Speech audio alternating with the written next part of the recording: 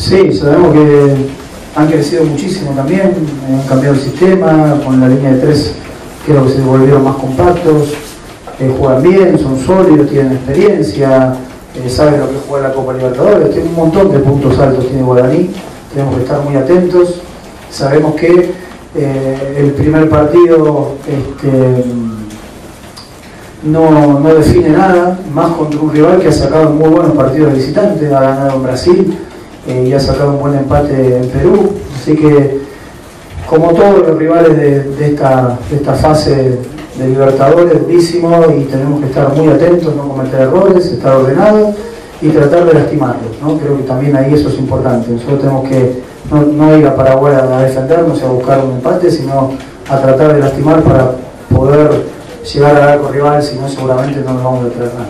Mira, eso, eso de favorito en el fútbol a mí no, me mueve nada. Pero te vuelvo a repetir lo de siempre, favoritos son los, equipos que tienen jugadores de jerarquía y que han jugado muchas veces la Copa Libertadores.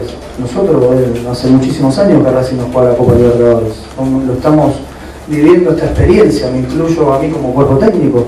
Como técnico nunca me tocó dirigir una Copa Libertadores, así que no somos favoritos. Ahora que tenemos chance y todos tenemos chance, en esta instancia tenemos todos chance.